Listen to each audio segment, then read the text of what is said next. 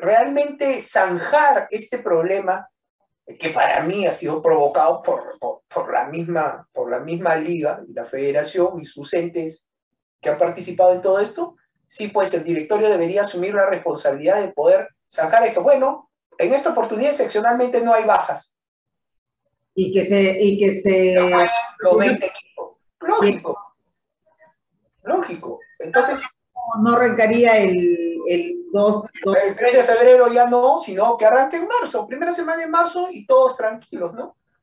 Eso es como nosotros como asociación haríamos, ¿no? Se lo digo así, no porque seamos, ¿sabe qué? Este, ah, lo que sabemos todo, no, no, no. Lo que yo trato, y yo le estoy fundamentando porque inclusive tendría una base normativa.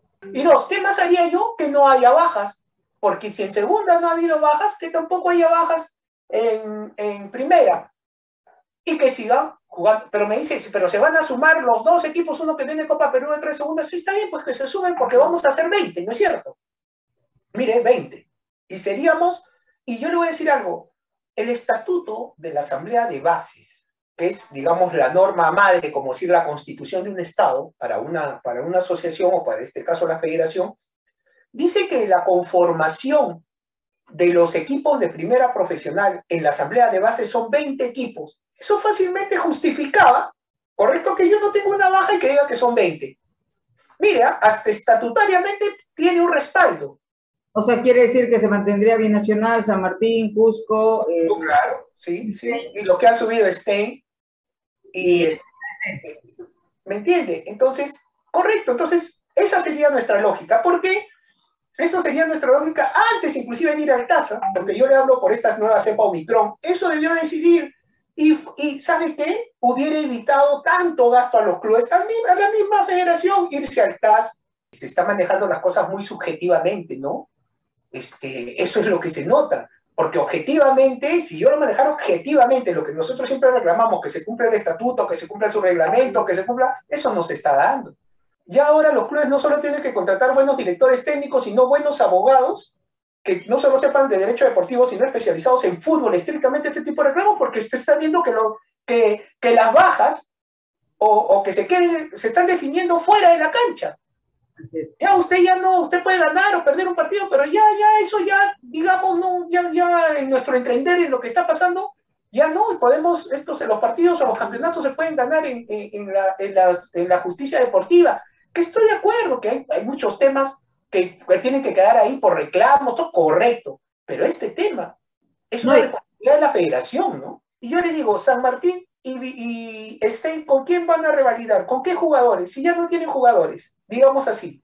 Y los jugadores que estaban inscritos y que jugaron hasta, digamos, hasta noviembre del año pasado, ya no están, algunos con ellos, ya no están inscritos, ¿correcto? Entonces, se tenía que jugar. Hay antecedentes que en algún momento por el arquero Roberano y, Roberto Silva, inclusive, que ya no jugaban en Alianza y en Cristal, Roberto Silva firmó por Cristal, tuvieron que... Hay antecedentes, pero lo que pasa es que eso fue muy sui generis de su momento. Hoy día estamos definiendo bajas del mismo campeonato. Yo envié, yo he conversado a finales de noviembre, pedí una reunión con el señor presidente de la federación, me la concedió el mismo día, hablé y le dije, presidente, le hemos enviado en agosto solicitándolo regrese en la organización y administración del campeonato a nosotros, a la asociación. Toda vez que existe una carta, un oficio eh, de junio del 2018, donde en ese momento el señor Oviedo cuando comunica a la asociación que ellos van a asumir a partir del 2019 la organización del campeonato, también señala que en el 2022 regresaría el campeonato a la asociación.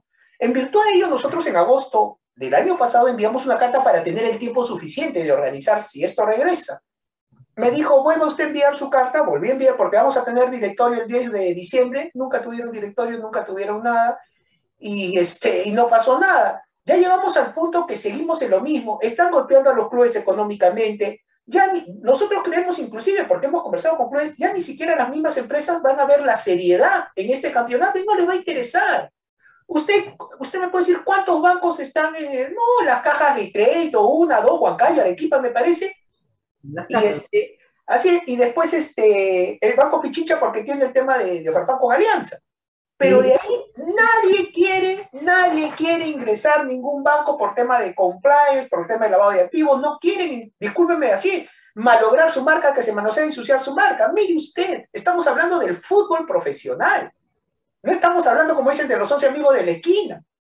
No, entonces, hoy día las empresas no quieren, lamentablemente muchas medias, se retraen para poder invertir en el fútbol, en los clubes. Lo único que está, le, soy sincero, y que también se va a volver un problema y pronto nos vamos a pronunciar sobre eso, los únicos, la única empresa que está, digamos, y siempre se ha visto eh, eh, parando el, presupuesto de los clubes es eh, la empresa de televisión. Y nosotros, es más, si me decía, ¿y usted tiene, tiene la capacidad de poder organizar? Sí, podemos organizarlo, pero también creemos, porque siempre he hecho un mea culpa, ¿en qué? En que si nosotros contrataríamos un tercero para que realice la administración del campeonato, que las comisiones de justicia no sean designadas por la asociación ni por sus miembros, sean terceros. Claro, para que no haya que usted lo trajo a tal, no, no señor. Y que se administre diferente, de una forma, vamos a decirlo así, empresarial. No que me conviene esto, me conviene no. Y que la asamblea de, la asociación, la asamblea, la, la asamblea general de la asociación, sea la que supervise, controle lo que hoy día le estoy diciendo que debería ser la, federación.